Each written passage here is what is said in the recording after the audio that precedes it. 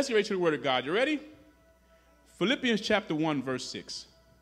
One verse. Very familiar, but this is where the Lord is going to be speaking to us from. Amen. Philippians chapter 1, verse 6. It says this Being confident of this very thing. Yep. That he which has begun a good work in you shall perform it until the day of Jesus Christ. Father, yeah. Father, bless your word today in Jesus' name. Amen. I want to continue with our third installment of our impact series, and I want to talk about the impact of consistency. We've been talking about the impact of communication, God speaking and us speaking for Him or speaking through us. We talked about the impact of commitment. This week, I want to talk about the impact of consistency. It may sound like I'm saying the same thing, but I'm really not. Because commitment means I've decided to undertake a work, I accepted the assignment. Some people struggle with commitment issues.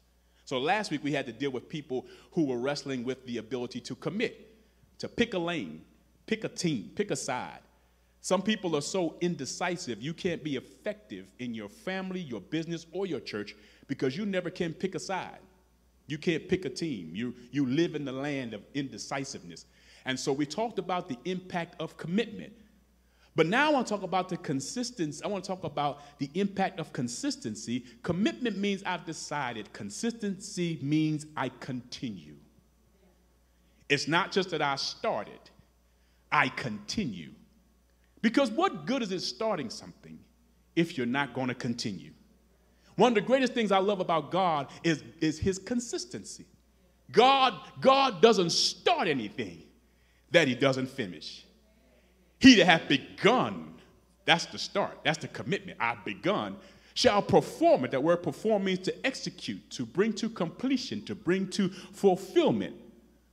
Follow me, beloved of God. Success in any endeavor depends on remaining commitment to a course of action. It ain't just starting, it's sticking with it. We are, get this, we are what we consistently do. It's not what we do every once in a while that defines us, it's what you do consistently that defines who you are. How do I break it down for you? You're not going to lose weight by spending one day at the gym. It's what you do consistently that causes you to lose weight. Come on, talk to me, somebody. You're not going to save money one week and become a millionaire. You're not going to sow a tithe one Sunday. It's what you continuously do. You see what I'm saying? I can always count on God because God is always who He's going to be. Jesus Christ, the same yesterday, today, and forever. Hebrews 13 8 says, In Malachi, He says, I am the Lord God, I change not. In James, he said, There's no shadow of turning in me. People are not always who they're supposed to be, but I can always count on God to be who he is supposed to be.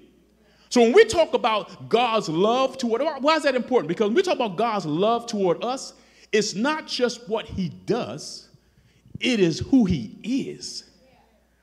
Can I talk about the isness of God? He is love. That's why he loves. He is just. That's why he is the that's why he justifies. He is righteousness. That's why he always does the right thing. He is merciful. That's why he always gives mercy. God will not do anything that is not consistent with who he is.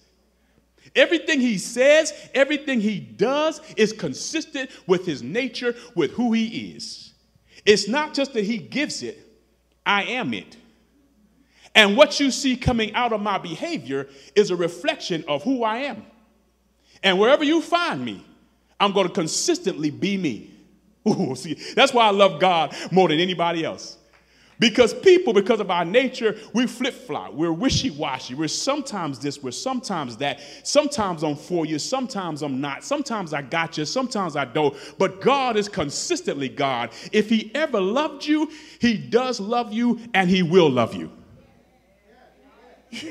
y'all, y'all didn't catch that. I said, if God does love you, If God ever loved you, He does love you and He will love you. That's not contingent upon what you gave, who you are, where you live. He says, I love you with an everlasting love. You can always count on me loving you. Your mama might not love you, your daddy might not love you, your friends might walk out on you, walk out on you. But one thing I can depend on is God being who He is. He's faithful.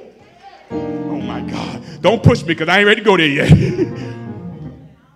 2 Timothy 2:13 says this that even if you are faithless, he remains faithful. Ooh, I'm so excited I can't only contain myself. Even when you flake out, God said, I'm going to still be who I am. See, some people think that God blesses you because he's co-signing on your foolishness, but the truth be told, the fact is that God sometimes blesses you and you don't even deserve it. You haven't always been faithful. You haven't always done right. You haven't always sown. You haven't always lived right, but he still blesses you because God said, That's who I am. And just because I bless you don't mean I'm co-signing on your foolishness. It's just that just because you're faithless, I'll still remain faithful. I can't deny myself. Oh.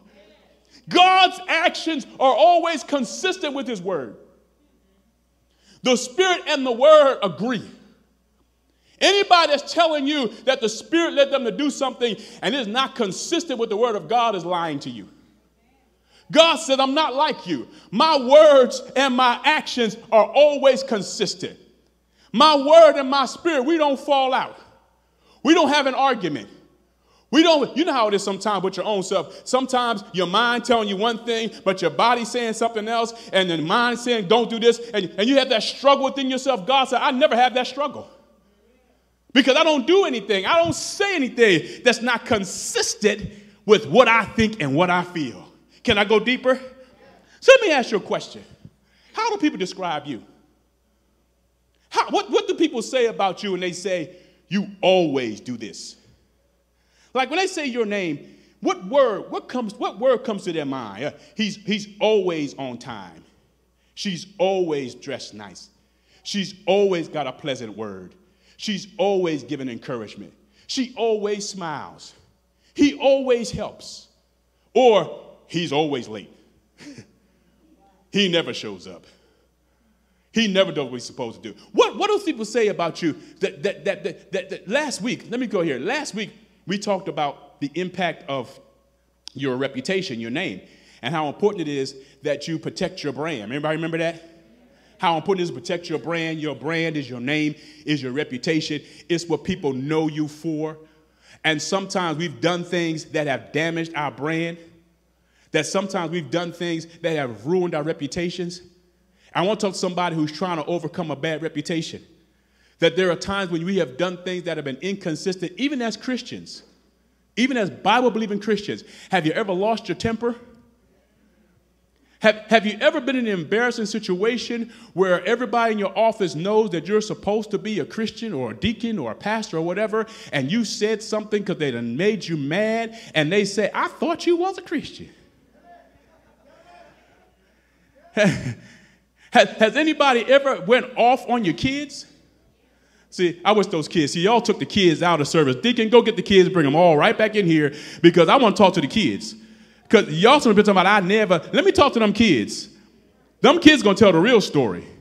you remember I talk about I'm so and so and so and so and so, and the kids be looking at you because they know how you really are when we're not around.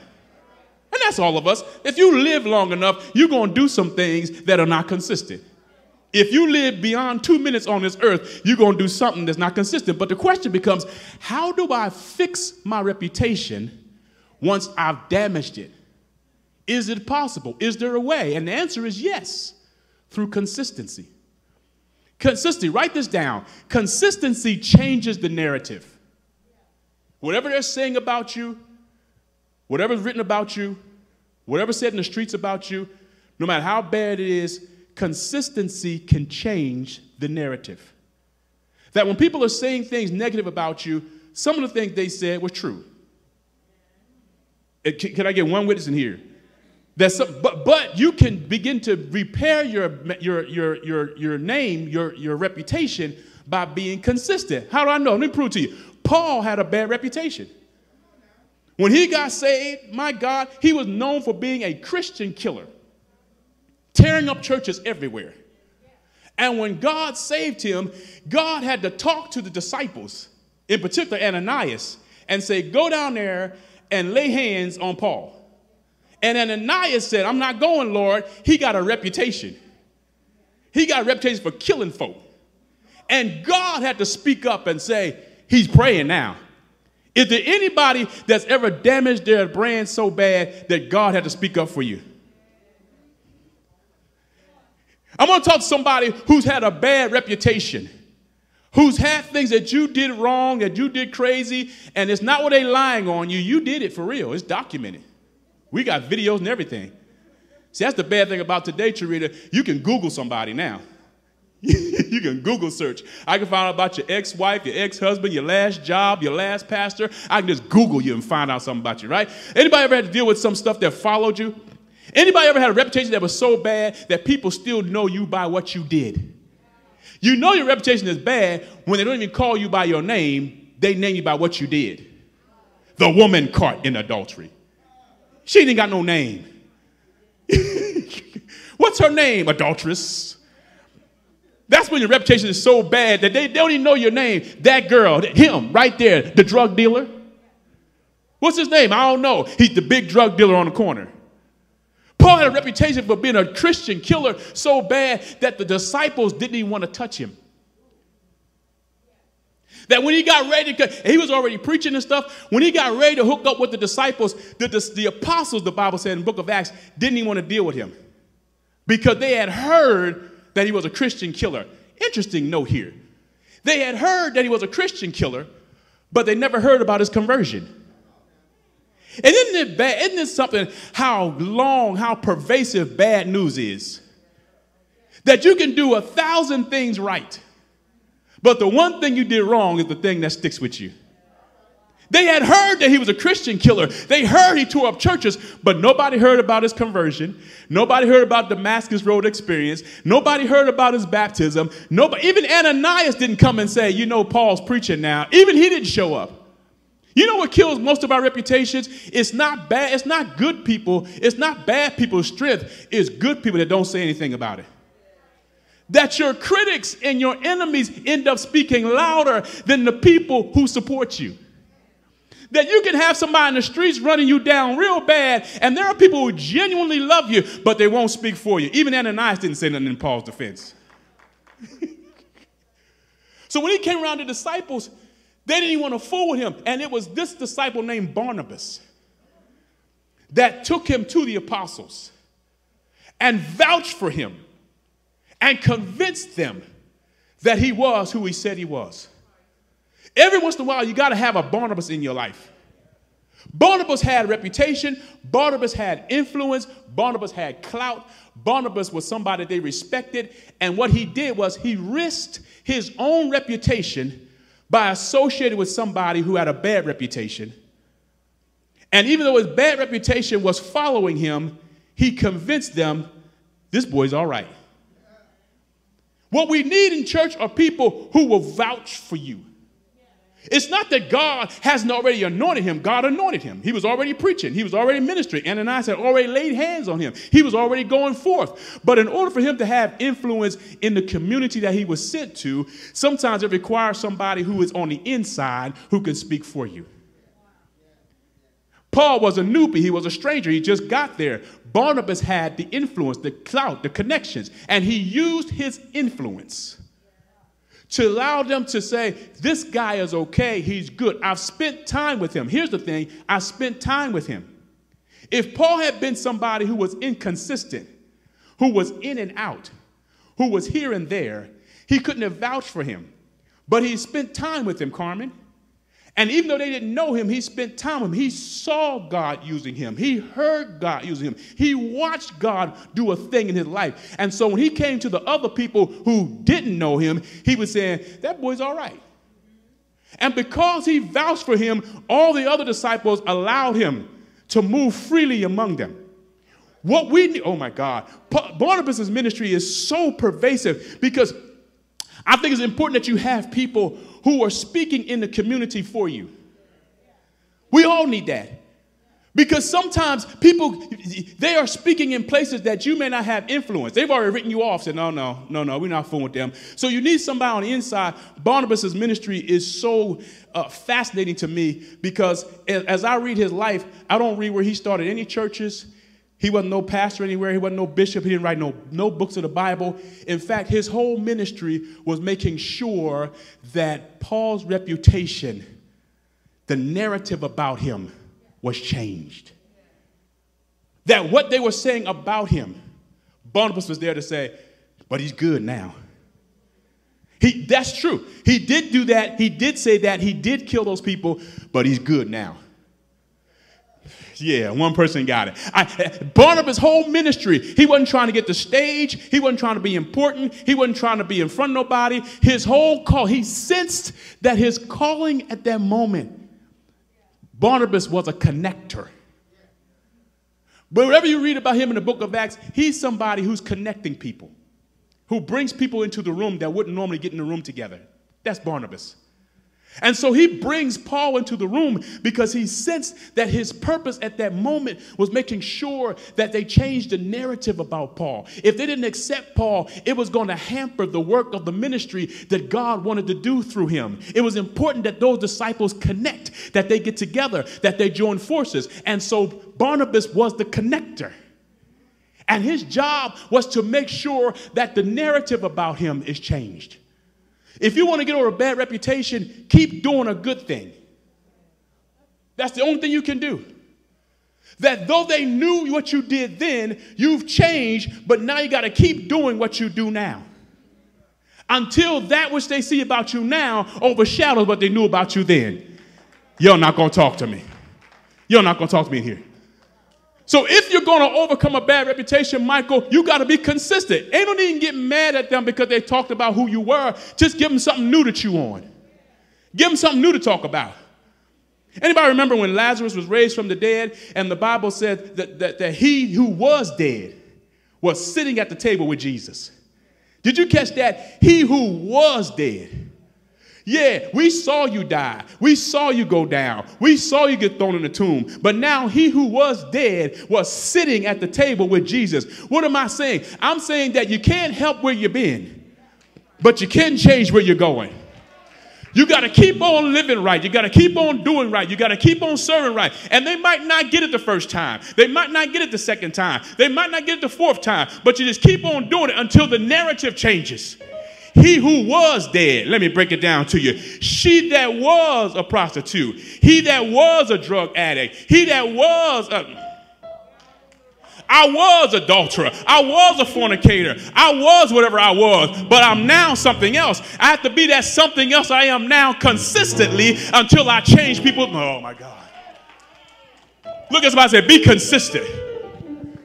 Stop getting mad and getting upset and throwing off on people on Facebook because they talked about what you were. Just give them something new to talk about and be consistent at it. If you're a new person now, continue to be the new person you are now until the narrative change. Can I move on? I got to move on. Consistency requires this. Consistency requires that you have something called endurance. You have to endure hardness as a, as a, as a good soldier in Christ. This generation boasts about having the ability to cut people off quick. Yeah, I cut you off. I leave you. I leave people, I leave situations, and I brag about it. But our parents and our grandparents, they brag about being able to stand up to something. Yeah, this generation can't take nothing. The wrong thing, I'm out. I'm gone. Deuces, I'm gone. And we brag about being unstable. Now, listen, let me, let me, let me be clear. I'm not talking about situations where you're being abused. I'm not talking about somebody uh, when you're threatened uh, emotionally or physically. You got to get out of there. You just got to go. I mean, that's, that's non negotiable. But I'm not talking about that. Everything doesn't qualify as that kind of situation. There are some things that we just don't take because there's something broken down in us. And it's hard to be consistent on the outside when you're a broken person on the inside. Can I take my time? It's hard to be somebody who's stable on the outside when you're not stable on the inside. That's why you can't keep a job. That's why you can't keep a relationship. That's why you can't be stable and consistent. That's why nobody can count on you because there's something broken down in me. It doesn't matter. I can change cities, change spouses, change jobs, but the same thing keeps happening. It's not them, there's something broken in me. Somebody lift your hand and say, God, fix what's broken in me.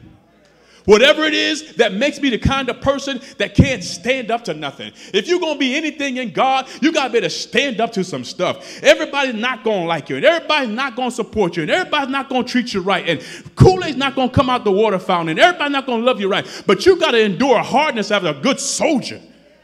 You got to stand up to some stuff. You can't run off every time something go wrong. You got to be somebody I can stand there. I'm going to take it endure hardness. So consistency requires that you're somebody who can stand up to stuff. Because everything is not going to go your way. Look at this. Look at this. Consistency is measured over time. There's a time factor involved. You can't get married today and claim I'm faithful. no. You just got married yesterday. You woke up in the morning and say, well, I'm faithful. No. Faithfulness has to be proven over time. Come on, somebody. That's all marriage is. Marriage is honoring a commitment over time. You only been on a job for two weeks, and now you want to be employee of the month. Can you make it to the month yet? you know, what I mean? it tickled me. You, you've been pastoring for a year, and you're ready for them to coronate you a bishop. Really? Can you do something for a while? Let us watch you for a minute and see Mentoring takes time. Development takes time. Discipleship takes time. There is a time factor involved in consistency. Some of you, you're marrying folk too quick. You're giving them jobs too quick. You're giving them responsibility too quick. Discipleship, mentoring, all those things take time. Oh, can I move on? Can I go deeper? Consistency is a skill set. Anybody can get married. Why do I keep going back to these marriage metaphors? Because the marriage metaphor helps me understand or help me connect with you what I'm saying about commitment, about consistency. Anybody can get married. That's easy. Just go down to the JP, say a couple words, sign a piece of paper, give them a check, I'm married. It's easy. Anybody can get married. It's staying married. That's the problem. Some of us, we're good at catching. You're just not good at keeping. Y'all quiet. Y'all, did I? Y'all quiet? Oh my God. You can, you got the equipment, no doubt about that. You can get them. You can get, you know, you to the left. I'll get somebody just like you tomorrow, right? You're good at that. You're just not good at keeping. And you can't have a significant impact on anything if you're somebody who is a catch and release person. Some people go to the fishing hole, they have those catch and release, you know, they go fishing. You, you, you spend all that time out there fishing. When you catch them, you got to throw them back. Some of you are good at catching, but you're not good at keeping. You can get a job. You can go into an interview and amaze them with your interview skills. Got the job. You just can't stay on the job more than two weeks. You can, you can dazzle us with your ability and what you have to do, but you don't stay. So consistency requires a certain skill set. Look at this, write this down. Consistency fosters good relationships because good relationships are built on trust. Being consistently, write this, being consistently inconsistent breaks trust. You can't establish good relationships with people who are inconsistent. Inconsistency kills intimacy. I'm gonna let that marinate. Inconsistency kills intimacy because you can't build on people that you can't trust. And here's, here's how I cycle people that are inconsistent. It bothers me, Michael, because this is where I go. My head goes here, it cycles. I go from anticipation to concern to anger to indifference. In that order. I go from anticipation because I'm excited about what you promised. Oh, you're going to do that? You're going to come? You're going to show up? You're going to serve? Oh my God, I'm anticipating it. I'm so excited for you. And then when you don't show up, my first thought is concern. What happened? Did they get in a car accident? Were they in the ER? Did something happen? I'm, I'm concerned. I'm calling. I, I, I know you said you was going to be here, but you didn't come. You all right? And then when I realize there's nothing wrong, I go to anger. Maybe that's a too strong a word. Frustration. I went from anticipation to concern to frustration, but I ain't done yet, Mark. Then I go to indifference. And indifference means I don't care. Indifference means I've stopped depending on you. Indifference means I don't expect you. Indifference basically means if you do show up three days late, I'm like, oh, how you doing? Really don't care by that point. So it's hard for us to have a relationship because now we're operating from a position of indifference. I don't care if you come or not. And a whole lot of relationships have been damaged because one or two or both of the persons have gotten to a place where it just don't matter. Oh my God, to have damaged your reputation to the point that people just don't care where they don't care if you show. That's when you're bad. You should be the kind of employee that people care if you come or not. If you leave the job and they celebrate, that's a bad thing. if you leave a position and they glad about it, that's a bad thing. If, if you leave the house and she ain't worried, that's a bad thing. Why? Because I moved to indifference because, don't blame me, I moved to this place because of your inconsistency. Bible says this Proverbs 24 21 do not meddle with those who are given to change. That's what the Bible says. I didn't say that. And what it's speaking about is not talking about people who evolve and grow and change. He's not talking about that. But he's speaking about people who are inconsistent in their behavior towards you. It's hard to find people who will consistently love you, consistently support you, consistently speak well of you, consistently be kind to you, who can find a faithful man, is what Proverbs asked. Even God has a hard time finding somebody faithful. Who can I send and who shall go for us? Speaking all over the world, who can I find to speak for me? One man shows up and says, Here, my Lord, send me.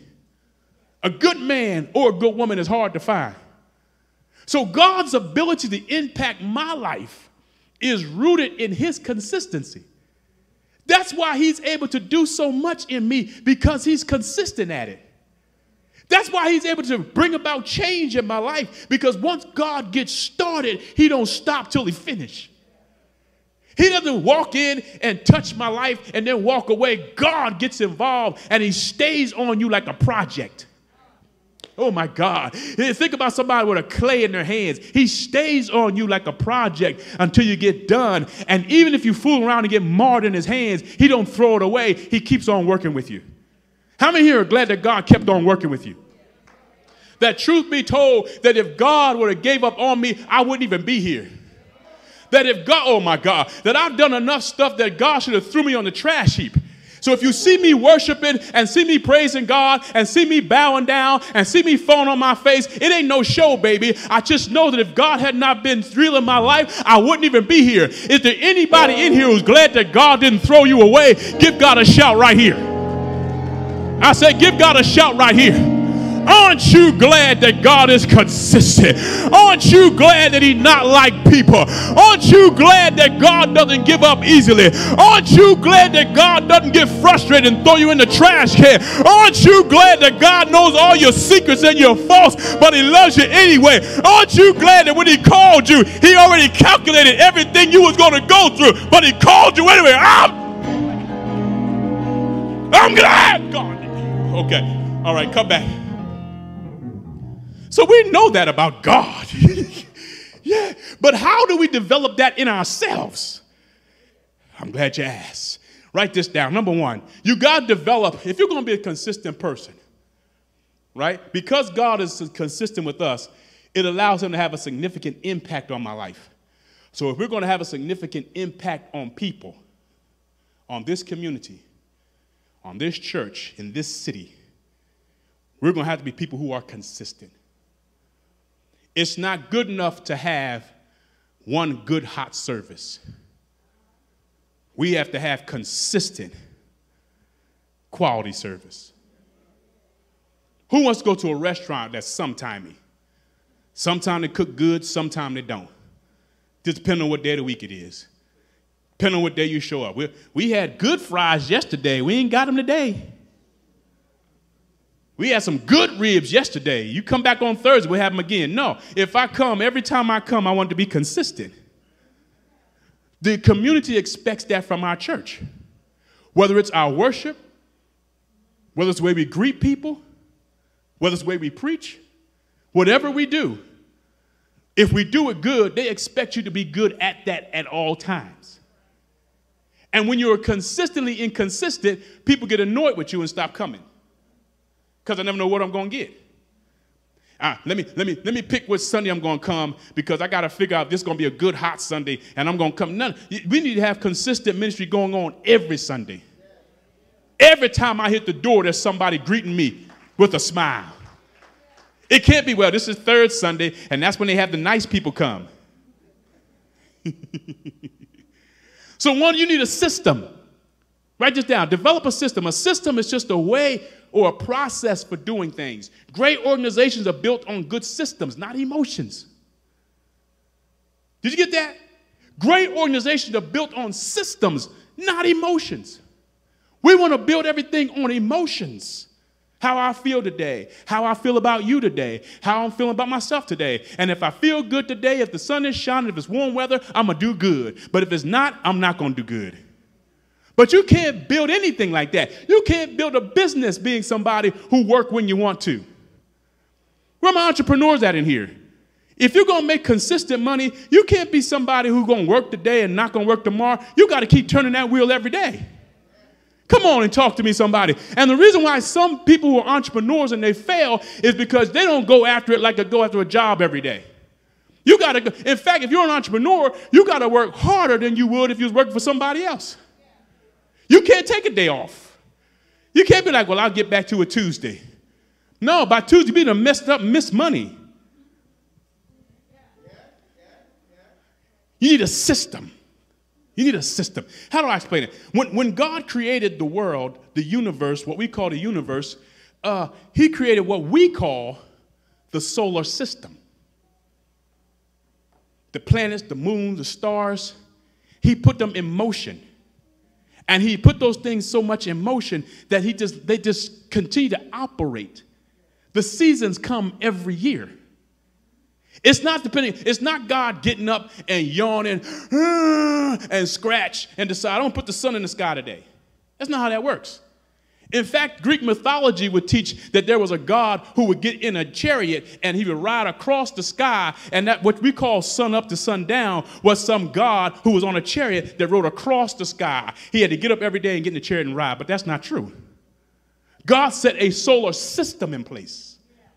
And what we call the changing of the seasons is something that God already set in place one time. He ain't got to get up and do it every day. He ain't got to sit up there and turn the planets around. He set it on a system, on a clock.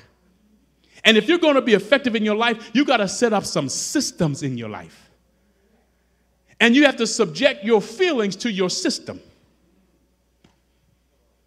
What we do is we subject our systems to our feelings. But what you need is a system, something that you do consistently, a process that you do all the time. Let me give you some more word paths because you're getting too far from me. What am I saying? Get organized. Get organized. Organize your money, organize your family, organize your life. Get organized. The more organized you are, the more effective you're going to be. That ain't spiritual. When Jesus got ready to feed 5,000, he set them out on the grass in order. He wasn't just throwing bread out there. As hungry as they were, as famished as they were, and ready to faint, God said there'll be no miracles until we get order. And if you're wondering why you're not experiencing breakthroughs and orders, breakthroughs and miracles, it could be because you ain't got no system.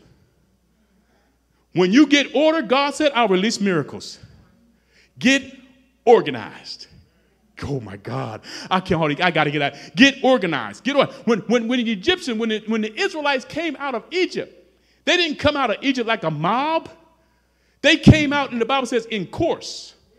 They came out in order. They came out like an army, an organized army. So much so that when their enemies saw them coming across the wilderness, they were afraid because of how organized they were. When the enemy sees us hitting this city, they need to see how organized we are. Not just how emotional we are, not just how hot we are, but how organized we are. That's what's going to intimidate the enemy. If we're going to close the back door to our church, we need systems and processes. Some of us, we've been praying for laborers. Send me some volunteers, send me some help. And God sends you to help, but you can't keep them. In fact, as long as this church has been here, if, if you had all the people that ever came through your doors still here, you wouldn't be able to get everybody in the building. If all the people who came through here and visited or became members are still, you wouldn't be able to get everybody in the building. So when you see people going out the back door, we have to ask the question how do we close the back door? With systems and processes. Sometimes we pray for good people, and it's not that they're bad people, you just have bad systems. You have bad systems. You pray, God, send me volunteers to help me with the media. Send me volunteers to help me with the greeters. Send me volunteers to be in the band. And God sent you good people, but you didn't have no good process. What about me? You had no process. You had no training. You had no follow up. You had no follow through. You had no accountability. You had no process for rewarding people who did good. And you had no consistent standard for correcting those gently who did bad. You simply had no process. God sent the fish. You just didn't have nothing to keep them. Oh, God. Is it possible that God sent you money, but because you're not on a system of tithing and offering and saving, you lost money? That the greatest thing that tithing does is it teaches you a system. It teaches you consistency, consistently giving, consistently saving, and that God is training you through your giving. Because when you don't handle money right, it can be a curse on your life. It's a proven fact that those people who get a windfall, hit the lottery for 30, 40 million dollars in five years, they end up in bankruptcy. Why? Because they have no system. They don't know how to handle money. It's not just getting money, it's managing money. It's not just having a family, it's managing the family. God said, wherever I see order, I'll send miracles. When I see you getting your money together, when I see you calling a family meeting and say, we're going to call order to this family, we got rules to this family, we got a system to this family. When I say that the doors are locked at 11 o'clock and everybody that wants to be in this house need to be here at 11 o'clock, doggone it, you better be here at 11 o'clock or you stay wherever you were. I don't care if you got to sleep outside on a step like a cat. Why? Because I got order. you laughing. Call my kids. They'll tell you I was serious about that. Because I locked down everything at a certain hour. And you should see my kids rushing home trying to get in the house because they knew daddy wasn't playing. You ain't got no system. Even when you gently correct people, you don't have no standard for how you correct them. You correct certain people this way, and you do something different for somebody else. And everybody knows you have no standards. It just depends on whether I like you or not. And you wonder why you can't keep people, and you wonder why. And they were good people. I mean, they were sharp people, but you didn't have no system. This is craziness. This is. Mm. Good people don't stand around for bad systems. Number two, are you hear me? Are you with me? You got to develop a good rhythm. I'm almost done. Every organization has a rhythm. You got to get a good rhythm. A rhythm is simply a cadence, it's a beat, it's a tempo. You got to be able to catch the rhythm of your leader. This band over here does really well because everybody's on the same rhythm, right? We got the drummer over there, we got the keyboard over there, we got the sax over there, we got the bass player over there. If everybody on this on this team starts to play something different or a different tempo, it would sound chaotic. All of them are talented. All of them are gifted in their own right.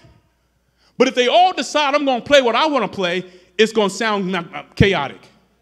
It's going to be a mess. Same thing is true for an organization. If everybody's going to do what they want to do and everybody want to go at the pace that they want to go, it's going to be chaotic. It's going to be a mess because we are not on the same rhythm.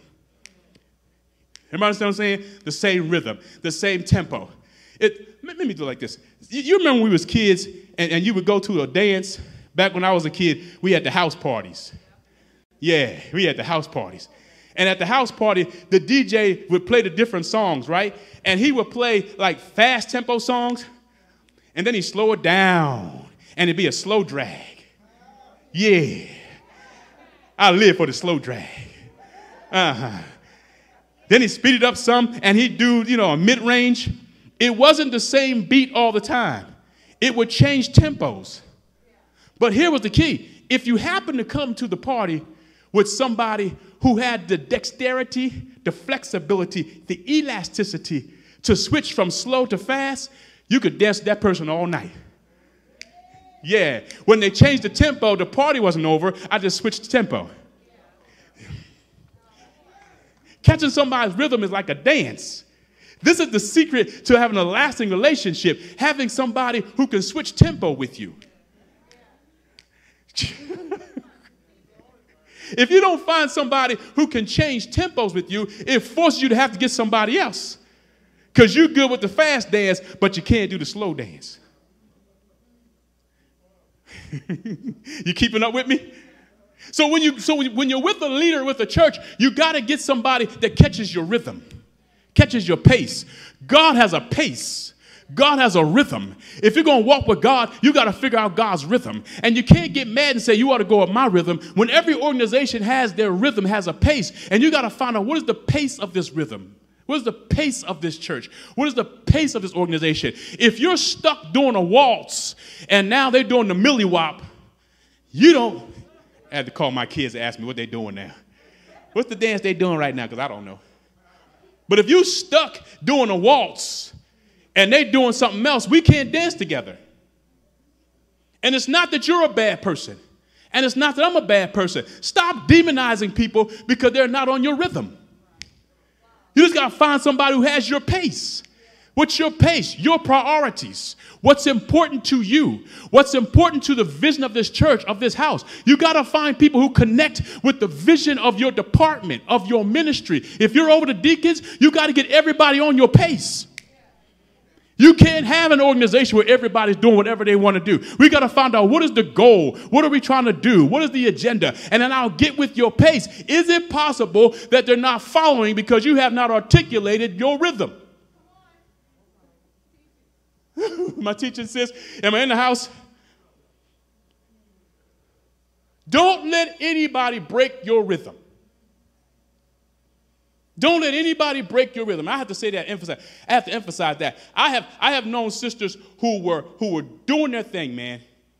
I mean, doing their thing, had their stuff together. Man, you know, by herself, single woman. You got your car, you got your house, you got your CAR, you got your APT, you got your JOB, you got your head tight, your mind right, the body tight, everything going on. And then you get with somebody who does not have your rhythm and mess up everything that you was trying to build. You were on a pace, you were on a rhythm, you were on a track, you were going somewhere, but you got with somebody who didn't share your priorities. They don't share your priorities about money. They don't share your priorities about God. They don't share your priorities about service. They don't share your priorities about raising children. They just don't share anything except they just cute and you traded your rhythm because they was cute. But what you have to do is wait on somebody who's got your rhythm. Ah, oh my God, I'm dropping bombs in here. I'm preaching better than you're responding. You got to wait on somebody that's got your rhythm, who's got your pace, who shares your priorities, who can get on your page. The thing about people of God is we want God to go at our pace instead of getting on God's pace. Sometimes God is moving fast. Sometimes he's moving slow. Sometimes he's moving mid range. Sometimes he's saying, just stop. But if you're going to walk with God, you got to make sure you stay in pace with him. It's not staying in pace with me. It's not my personality. If there's anything I can do for this church, we're going to change into being a, a, a, a purpose driven church versus being a personality driven church. Because personalities change all the time. If you're a purpose driven church, we can change the leadership, but we still got the purpose. You keep checking. I remember, God, I hate getting up here sometime and telling my stories. I, I, remember one sister called me, one of my friends, I have to say it to her, one of my friends in another city that said, I'm going to another church, Pastor. I said, Where you going? I'm going to so and so, so and so church. I said, Why? She said, Because he's cute. Because he's cute. You ain't saying about his preaching, his teaching, his leadership, his style, his vision, nothing. Look how far we've come where we care so little about our soul that we will follow somebody because of how they look. I like the way he sings, so I'm going to go, wait a minute, what's his vision? If you put the purpose down right, the purpose will outlive you. We can change the players, but the game doesn't change.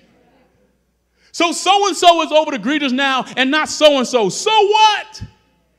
We can switch out the parts as long as we still got the purpose. Have you got a vision? Have you got a purpose? Do you understand what God has sent us here to do? Or are you going to continue to build your ministry, your vision, your family based on your personality, but have no order and no structure for your house? There's got to be a system to it. Ooh, last thing, and I'm almost done. Oh my God. Are you getting something out of this?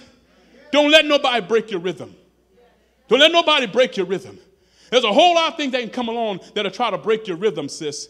There's a whole lot of things that come along, bruh, that'll try to break your rhythm. You gotta watch them. They slick, they fast, they be trying to get you messed up. You gotta watch. Don't break my rhythm. And if you're gonna break my rhythm, just leave me alone. If you ain't gonna do me right, just leave me alone. If you ain't gonna support me, get out of my way. Oh my God. I get sick of people talking about, I'm supporting you from afar. No, you ain't supporting me at all. If you're gonna help me, help me. If you're not, sit down.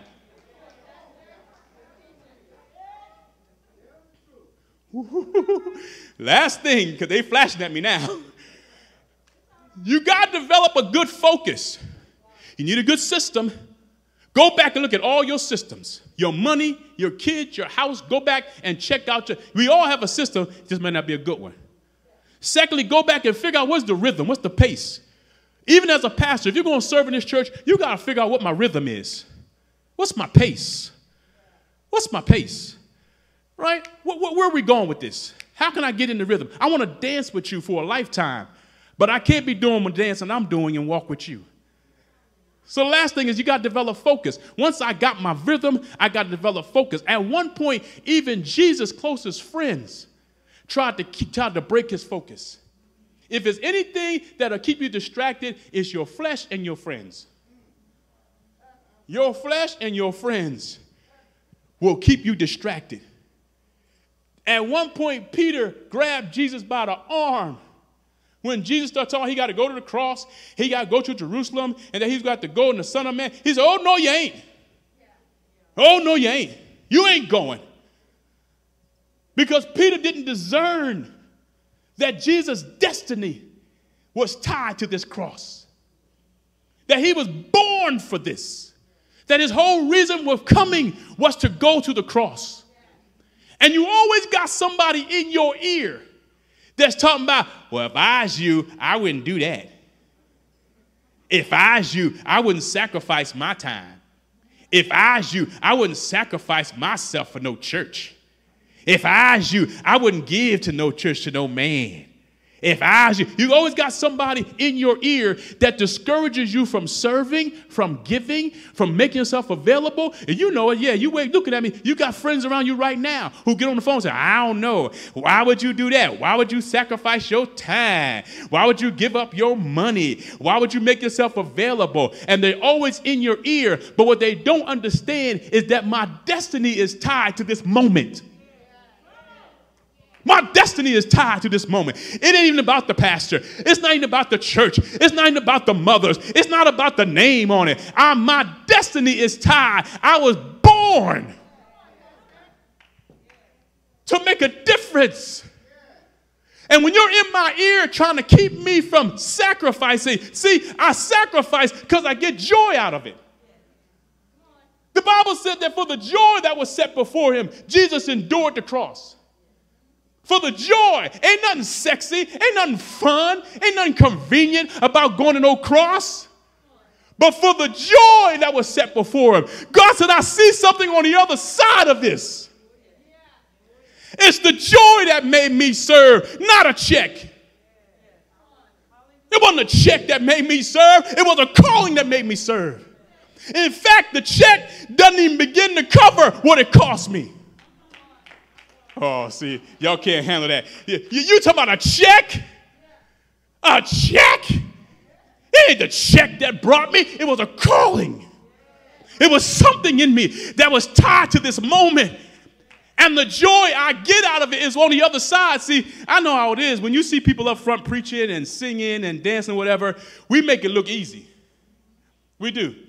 We, Sharita Gottberg got to singing that song. We, they, they make it look easy. Just get up there and open their mouth and sing. But what they don't see are the hours of sacrifice that you made that nobody saw the preparation, the time, the things you gave up that you really wanted to do, the place you wanted to go but you couldn't because you wanted to be available to serve, and all you people that sit around talking about, I'm too tired to serve. You're only 13.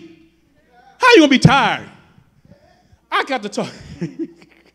oh Lord, I got to talk to Miss uh, Miss Davis over here, and she was talking about how I'm the oldest member in this church, and I ain't gonna tell you her age because she tell you I ain't gonna tell you. But Miss, I'm telling you, Miss Willie, when you came in here that, that one Sunday and went to dancing and you came in on a cane after we had been praying for you, Miss Davis, we had been praying for you. We heard you was in the hospital and we was praying for you and everything. And I was concerned and worried and every, every, every week asking, how's she doing? How's she doing? And you came in here on a cane praising God at XYZ age. I ain't gonna tell you age, see? And when I see these young people walking around, I'm tired. I'm tired, child. Church is too long. I'm tired. How you gonna be tired if she can come in here at her age with a cane, giving God praise? I know you can do better than that.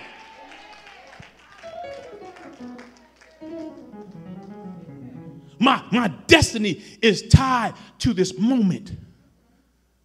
That's what it is. It's destiny. See, some of you that God has called to serve, it's not even about recognition. It's not even about the money. It's not about anybody give me position. It's that my heart is to serve.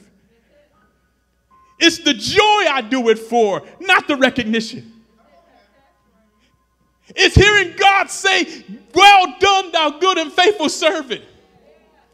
When I come in the church and I give God sacrifice and I worship, I have to remember the fact that just five years ago or 10 years ago, I had a needle sticking out of my arm or I was sitting in somebody's jail cell. How is it that you could be comfortable sitting in somebody's jail cell, but you can't sit in church for 45 minutes?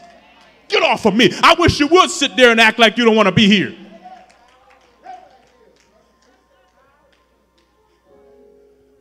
When I think about the things he pulled me out of, when I think about the situations he dragged me away from, when I think about the situations that should have, I should have been dead, I should have been killed, I should have had AIDS.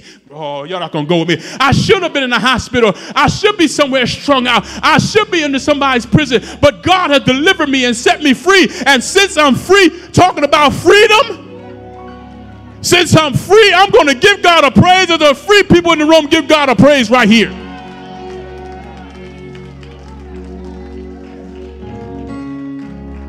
Look at somebody say, focus. Don't focus on what you're going through, focus on where you're going to. On the other side of this pain is a joy. On the other side of this pain is a victory. On the other side of this pain is an anointing. Look at somebody say, I'm going to the other side. That's what I get excited about. That's why I get joy. It's not the sacrifice. It's not the things I gave up. It's not the things I had to do without Carmen. I'm thinking about the joy on the other side. I want to talk to somebody who's going through a hellish situation right now. God said to tell you there's some joy after this. After this, there will be joy. After this, there will be a dance. After this, there will be a celebration. After this, we are going to have church. After this, we are going to shout. After this, we are going to leap. After I get through this, we are going to have church. After I get through this drama right here, you ain't seen a dance yet. You ain't seen a. See, you see me dance while I'm suffering. You see me dance while I'm going through it. That's why I don't like no funeral music around me when I get ready to praise the Lord. Because when I think about what God's done on the inside, I just soon leap and run all around this church because I feel a dance down on the inside. Mark, you ain't seen no dance yet. Wait till I get this weight off of me. Wait till I get these problems straightened out. Wait till I get my money together. Wait till I get my kids through school. Wait till I get my life together. Ah!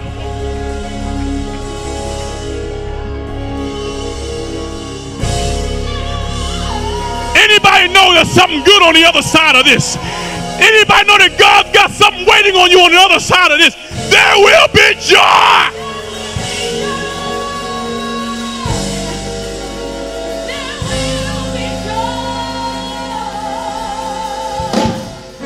The devil said you're going to die right here. The devil said you ain't going to make it through this. The devil said you're not going to get up. But tell that devil he's a liar. I will come out of this. I shall not die, but live and declare the works of the Lord. I will come out of it. I will get through this. Throw your hands up and say, I will.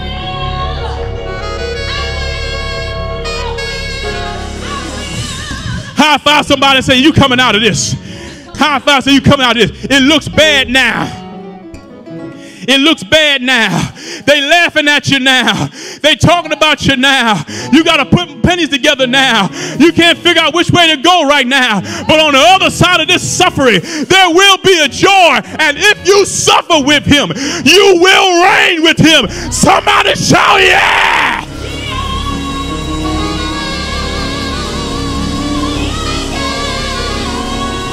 Shout yeah, somebody.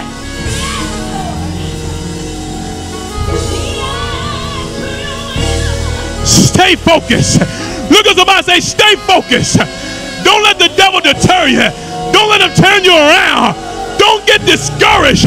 Don't get mad. Don't blow your brains out. Stay around. There will be.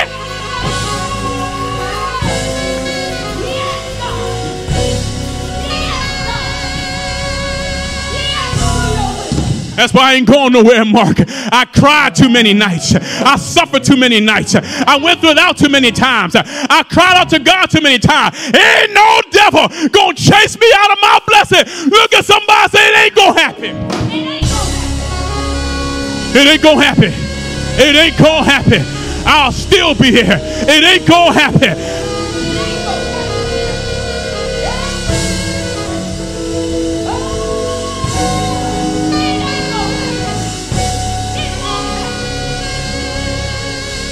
Let me close with this. Jesus said that any man who puts his hand to the plow and looks back is not fit for the kingdom. God is telling somebody, now that you got your hand on the plow, you got to stick with it. You got to stay focused. When you had your hand on a plow, you had to focus on some object down the road so that you could keep a straight line. If you were somebody who couldn't keep focus, you'd get off and you would injure yourself or mess up your plans. And God said, You got to focus on me. You can't focus on people, you got to focus on me. That's why some people can't go to church. You keep focusing on the preacher, you keep focusing on the people, you keep focusing on the choir, you keep focusing on the terms, but you got to be somebody who can focus on Jesus. You're not going to talk to me. You're not going to talk to me. Look at somebody say, stay focused. Stay focused. The devil's going to throw everything at you to make you break your focus. That's why some of us, we have our, our, our inconsistent in our worship. And all it is, I can always tell. I can always tell, Carmen, when the saints are going through something. I can always tell. Because when they got the stimulus check mark,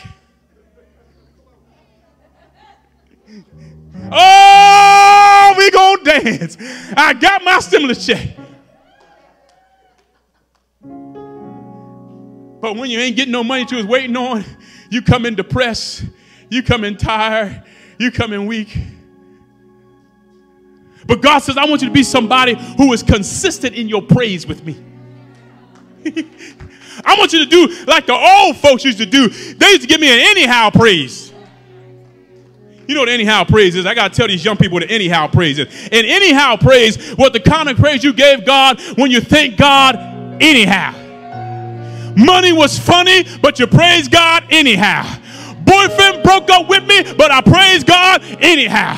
Lost my job, but I praise God anyhow because we knew that if you live long enough that God will bring you out of it. If there anybody in here that's got an anyhow praise for God, I'm going to praise that anyhow.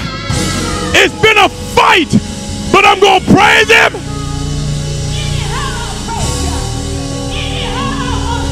Somebody open your mouth and give him an anyhow praise. I will bless the Lord at all times, and his praise shall continually be in my mouth.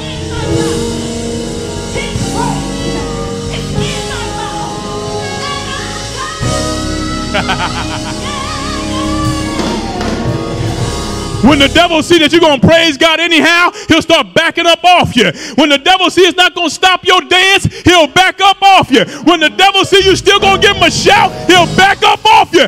The secret to getting a victory is opening your mouth and praising God. Anyhow.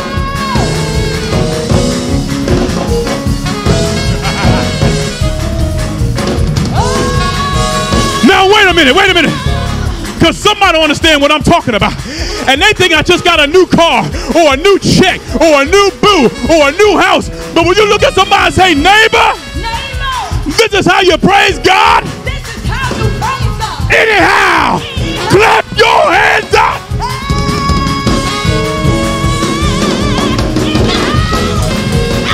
Anyhow, I'm consistent. Anyhow, he's worthy anyhow. He's God anyhow.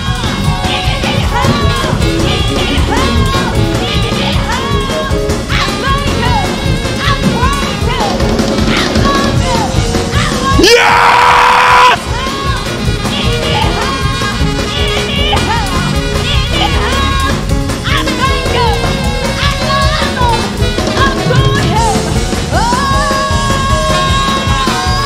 Is how you do it. This is how you praise God anyhow.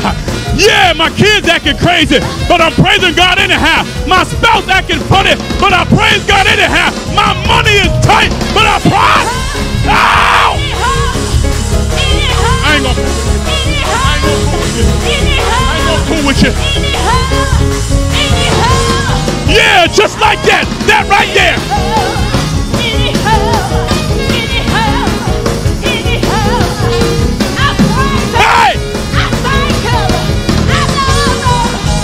You ought to praise them Right in the face of your devils. Right in the face of your problems. Right in the face of your issues. Right in the face of your enemies. You ought to.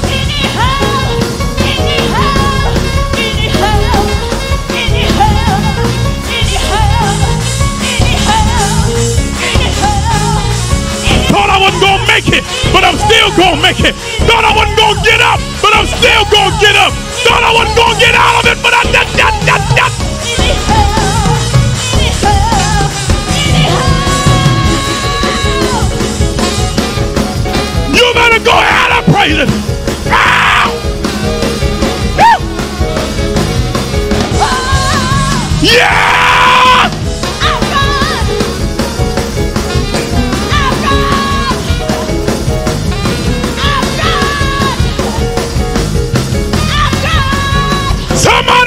Somebody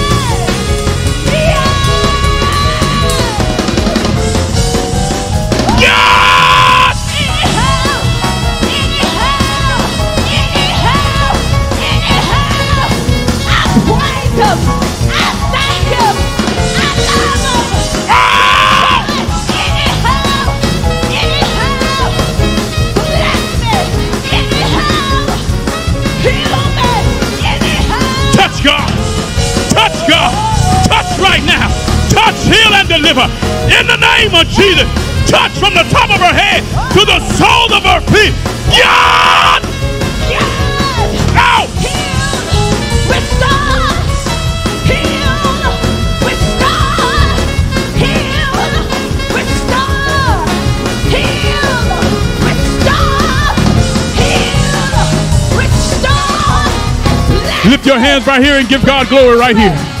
Come on, lift your hands right here. Healing is in the house. Breakthrough is in the house. Hallelujah. Financial breakthroughs in the house.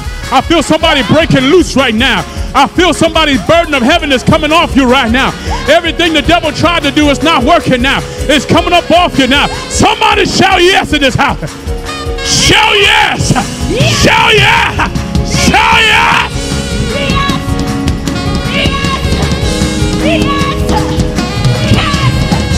Touch right there. Touch right there. Touch right there, Lord. Touch her right now. From the top of her head to the sole of her feet. Hallelujah. You're a healer, God. You're a deliverer. I pray for breakthrough right now. Holy Spirit, fall on her right now. In the name of Jesus.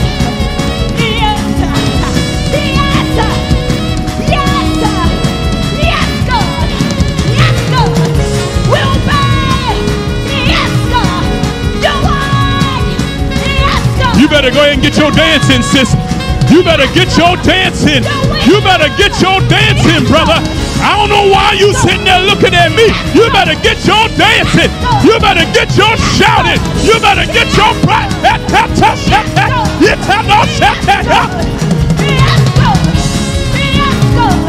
Whatever you say, yes, God. Oh,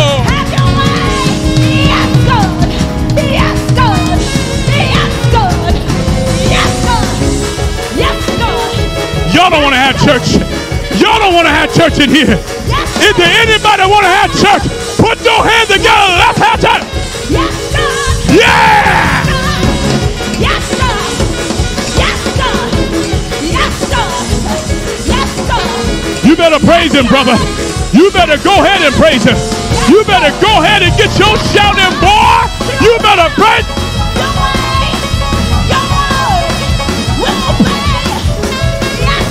The power of God is here. The power of God is here. The power.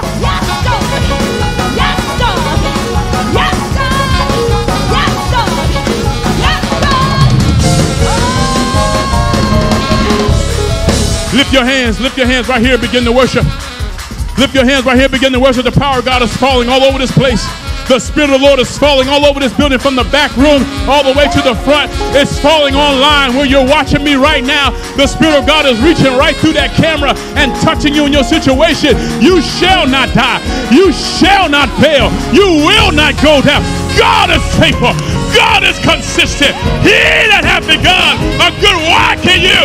Out! If you got the victory, somebody shout!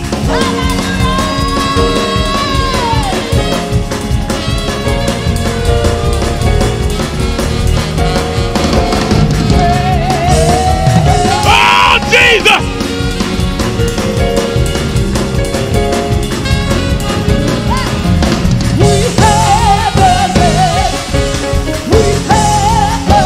I don't believe they heard you. I don't think they heard you, sis. You gotta tell them a little bit louder. What? I don't think they believe it in here.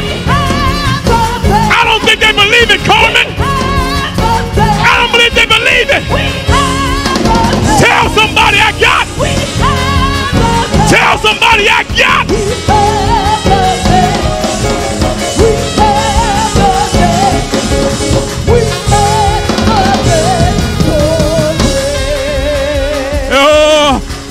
Got the victory? Give God a shout right here. Give God a shout right here. If you got the victory and you're glad about it, give God a shout right here.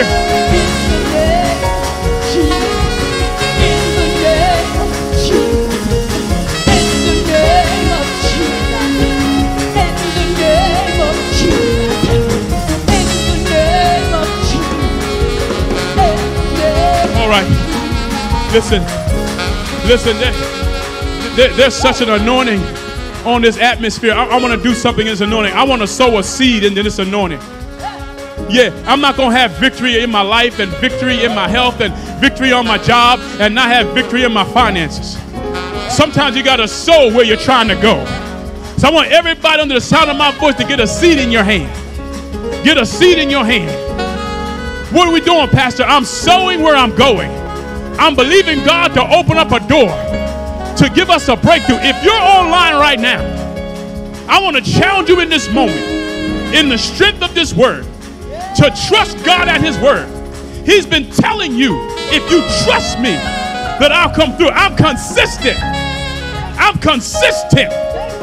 I will be there. If you sow a seed, I will make sure that seed brings a harvest. Come in, Sharita. Stop right there. Lift your hands right there. I'm just believing God for a miracle in your life. As you sowing this seed, you've been sowing seeds of service, you've been sowing seeds of finances, but I believe that God's going to cause you to reap a harvest. The harvest you're expecting is bigger than you expect. Did you hear what I said? God said to tell you it's bigger than you expect. Somebody better catch her. God said it's bigger than you expect. It's bigger. It's bigger. It's bigger. Come on. Come here, sis. Lift your hands right here. Lift your hands. It's bigger than you expect. It's bigger than you expect. Come on. It's bigger than that. It's bigger than that. It's bigger than that. It's bigger than that. It's bigger than that. It's bigger than that. Receive it. Receive it. Receive it. I wish I had somebody was excited I wish I had somebody was excited. Come here, sis. Wait a minute. I'm believing God for bigger. It's bigger than you expect. God said to tell you, you ain't seen nothing yet.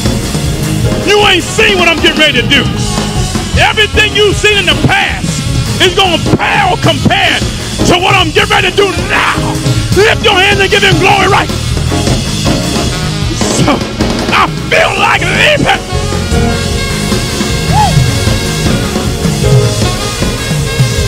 You need to sow a seed in this. You need to sow a seed in this. Come here, Sister Thornton. Come here, come here, come here. Grab her right there.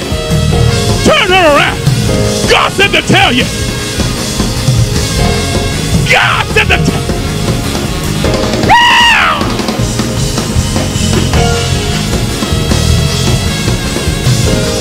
Get ready for a harvest.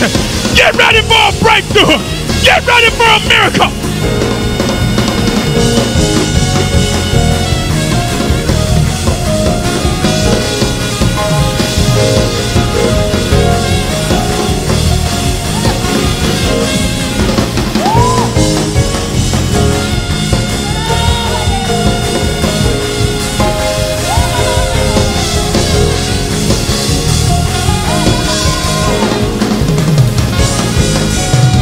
Listen, if you're watching me online, you see these people running up here sowing a seed.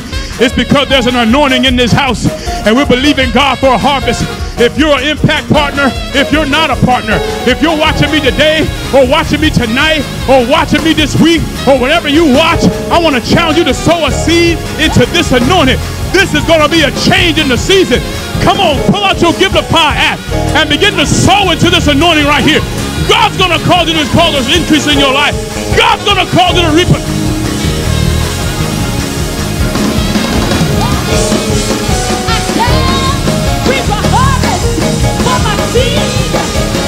God. I shall reap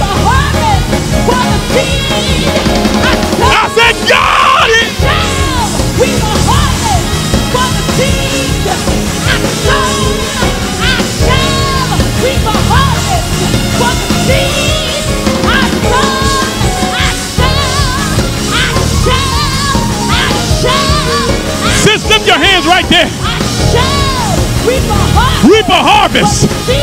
Reap a harvest. Reap a harvest. Reap a harvest. You shall, you shall, you shall reap a harvest